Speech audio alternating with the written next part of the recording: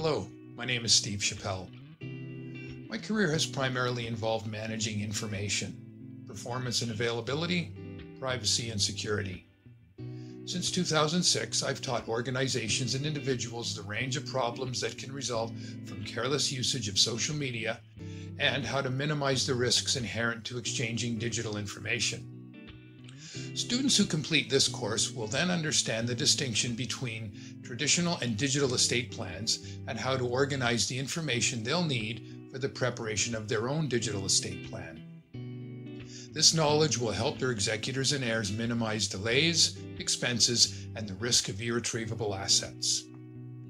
The course is presented through a combination of on-screen discussion, like this, and animated graphics. Development of a digital estate plan is demonstrated through seven modules assets, liabilities, accounts, documents, locations, executor, and path. The information is organized into a digital assets memorandum, of which a downloadable template will be available to students. I developed this course for estate holders who have or are preparing an estate plan and who recognize the risk that incomplete digital information poses to it.